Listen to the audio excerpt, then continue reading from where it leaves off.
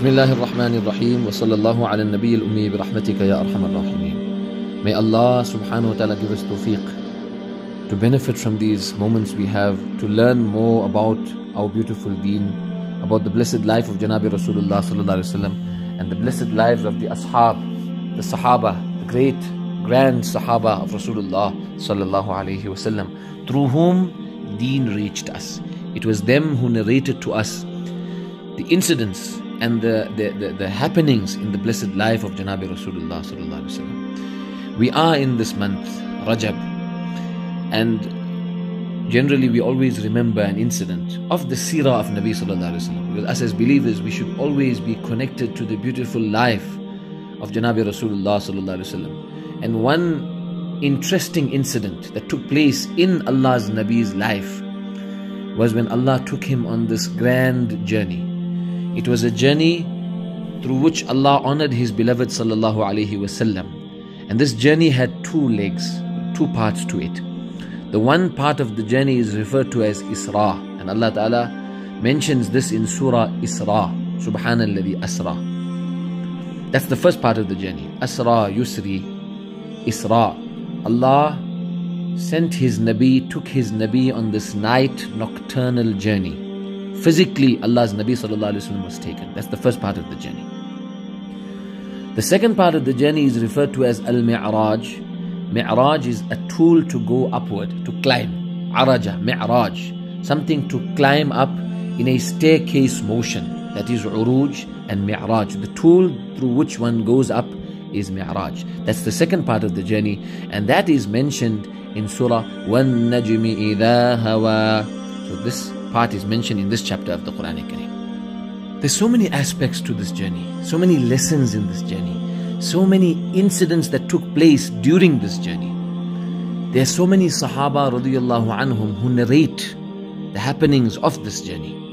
And there are so many lessons behind this journey. What a great journey. It was a speciality of Janabi Rasulullah sallallahu. Allah highlights this journey in His kalam. But one Sahabiya, because we want to learn more about the Sahaba anhum as well. And even those Sahaba that we don't take their names at times. Now and again we try and bring alive the names of those Sahaba. Because every Sahabi is special. One Sahabi, or should I say Sahabiya radiallahu anha, who we should know because of this journey. And one of those who narrated the, the event of this journey was none other than the cousin of Janabi Rasulullah the daughter of his uncle Abu Talib. She was none other than Hani radiyallahu anha. Her name, according to different reports, the preferable view regarding her name was Fakhita. But she was commonly known by the title appellation Ummu. This Sahabiya radiyallahu anha, Allah's Nabi sallallahu alaihi wasallam grew up in Abu Talib's home. Abu Talib took care of him after the demise of the, the grandfather of Janabi Rasulullah. So Allah's Habib grew up in front of Abu Talib and Abu Talib's wife, Hazrat Fatima binti Asad radiallahu anha. And all Abu Talib's children were close to Rasulullah. The eldest being Talib, then being Aqil, who was born interestingly 10 years later, then Ja'far, then Ali, Hazrat Ali radiallahu anhum.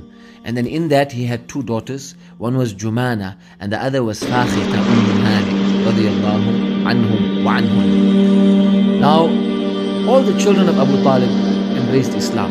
Just there's not much information about, about, about Talib. But the others, there is much detailed information regarding them. As far as Fakhita Umm Hani is concerned, she was a child in front of Rasulullah sallallahu alayhi wasallam. And when she reached the age of puberty and she reached the age of marri- marriageable age, Allah's Nabi wasallam did propose for her. But just before that, or at that time, a man by the name of Hubayra bin Wahab, who comes from the Banu Makhzum family, he proposed for Fakhita Umm Hani. And Abu Talib, on that occasion, gave his daughter to Hubayra. Anyway, afterwards, Allah's Habib وسلم, asked his uncle, Oh my uncle,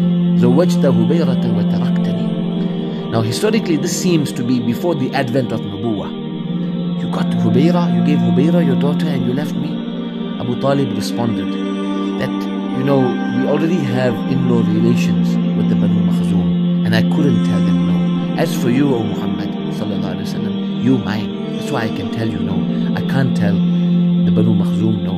And we also have in-law relations with them and they have been very respectful to us. That's why I have to give Umayra. Anyway, Allah's Nabi sallallahu alayhi wasallam obviously didn't marry Fakhita Ummu Hani.